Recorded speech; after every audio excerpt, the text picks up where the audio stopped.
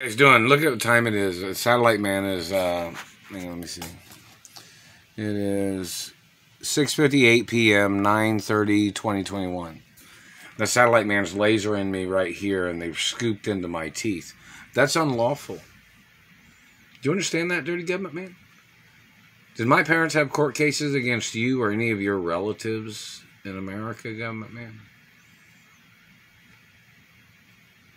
Did you lose in court to my mother, government man? You're going to need to show up in court. Your activity of burning teeth is very unlawful. It's not legal. There's no merit for your actions of what you've been doing. You need to appear in court, government man. They just did it again.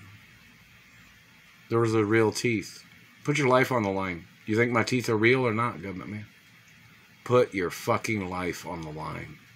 You're damaging my life. So why don't you show up in court?